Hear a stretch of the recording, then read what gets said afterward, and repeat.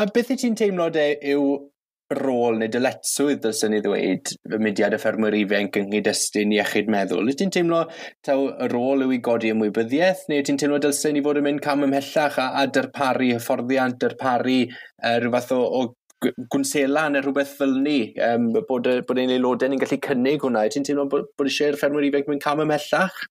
Ydw, dwi'n meddwl uh, bod hwn yn wasanaeth pwysig y dyle'r ffermwyr ifanc uh, ei gynnig. Fel, fel fi wedi sôn yn barod, mae iechyd meddwl yn bwnc sy'n effeithio ar bob un ohono ni, felly mae'n dyletswydd arno ni i drafod y pwnc yn agored a chynnig ein gwasanaeth ni pan mae pobl uh, angen help. Uh, byddwn ni yn sicr yn croesawu ei bod ni fel mudiad yn cynnig hyfforddiant uh, a byddwn ni hefyd yn croesawu rhagor o ddigwyddiadau fel y noson iechyd meddwl. Yn wir, mae angen rhagor o ddigwyddiadau tebyg. Mae yna rai ffederasiynau eraill yng Nghymru eisoes wedi cynnal digwyddiadau tebyg. Uh, Mae'n rhai camol uh, Federasiwn Eryri ac Ynys Môn, er enghraifft, uh, a gynaliodd noson iechyd meddwl nôl y mis Ionawr uh, y llynedd a nhw oedd y prif ysbrydoliaeth i'r digwyddiad wnaethon ni cynnal uh, yn y gorllewin. Wrth gwrs, uh, dwi'n ymwybodol bod yna nifer o glybiau unigol wedi mynd ati eu hunain i gynnal noson uh, agored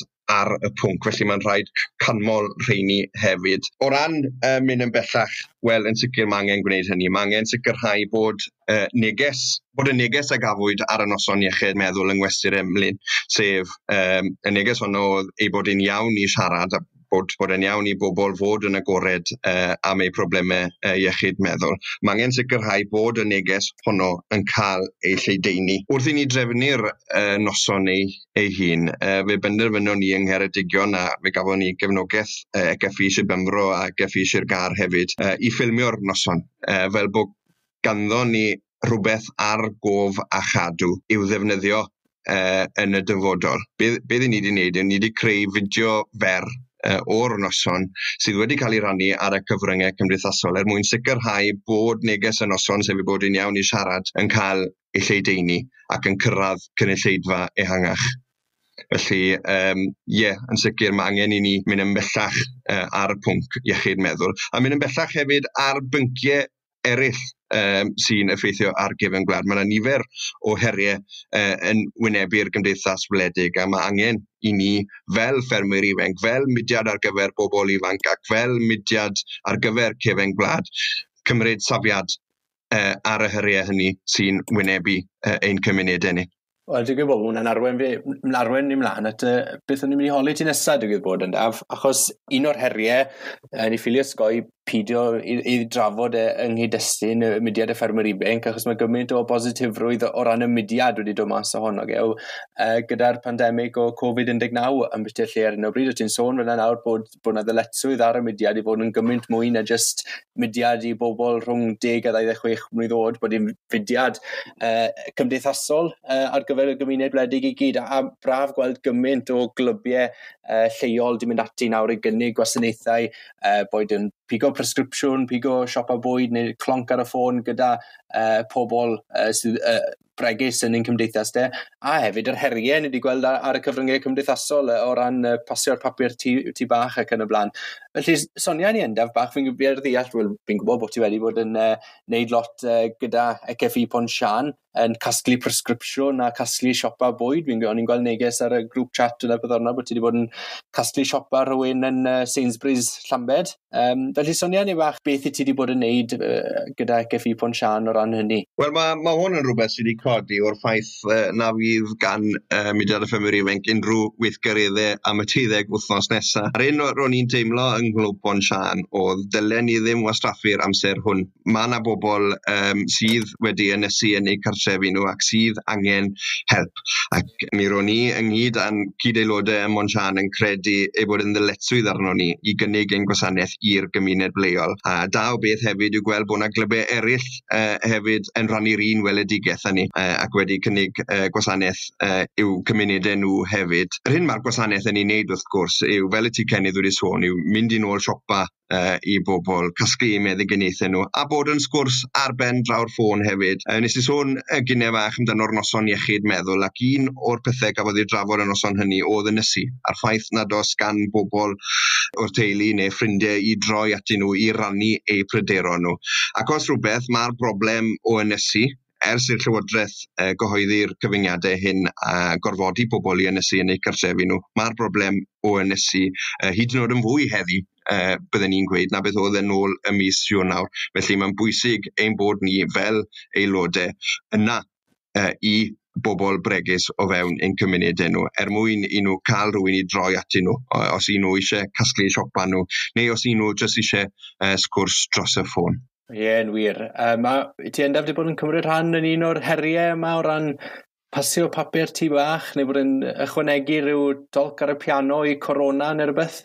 Wel, na ddo. Yn uh, anffodus, gen i, gen i ddim papur tu bach, ond wedi gwerthu yn y siop i gyd ar ôl yr holl panic bai yma, a sta fi ddim uh, llais da iawn i gan i chwaith, felly dwi ddim wedi cyfrannu at uh, yr un o'r gweithgareddau hynny, ond fi yn croesawu yr holl uh, grwpiau hyn sydd wedi cael eu sefydlu ar Facebook, ond maen nhw'n sicr yn codi gwein uh, bob diwrnod, a dyna beth sy'n eisiau, rhywbeth i godi gwein, yn, yn enwedig yn ystod y, y cyfnod diflas hwn. Ie yeah, wir, a gobeithio bod y podlediadau hyn yn helpu chydig wedi godi uh, o, o wen ar bobl. A falle na fydd na symud mlaen i'n nesaf, rili, neu dod i diwedd y, y podlediad yma am heddi, ond cyn bod i yn benni, wel, diolch yn fawr i ti gyda hynna am, am damser i cael clonc amser cynno fan hyn. Gobeithio bod fi heb fyta mewn gormod i, i dy awr gynio di bydde di nôl tu ôl y ddesg yna'n cyfeithi fel flat out mewn rhyw ddeg munud i gobeithio. Um, I just holi cwpl o gwestiynau byr i ti, really. Ti'n ti gyfarwydd y cwestiynau un, ti'n fel either or. Neu holi ti, beth sy'n well ydy efo hwn neu mm -hmm. hwn, a fi'n wain ti ateb, ateb straight away. Pa'i meddwl am te? Okay? Right. Okay. Barod? Fire away. Te neu coffi? Te. Night out neu night in? Night out. Bath neu shower? Bath. Uh, Facebook neu Twitter? Twitter. Netflix neu YouTube? Netflix deawdoniol neu sketch? Ww, sketch. Ie. Yeah. Sketch neu siarad coeddus? Sketch. Nawr, bydd yn ofalus rydyn nhw ateb ar un nesen. Wythnos ym maes B neu wythnos ym hentre ieuenctid? Ww, ateb diplomyddol, pentre ieuenctid. Okay. A yn ola, onydd y lleiaf, Sirgar neu Ceredigion? Sorry, Kenny, ti'n torri lan. Sa'n credu bod fi'n clywed ti? O, oh, na drenu. Nes i mynd o'n i mlaen, efe?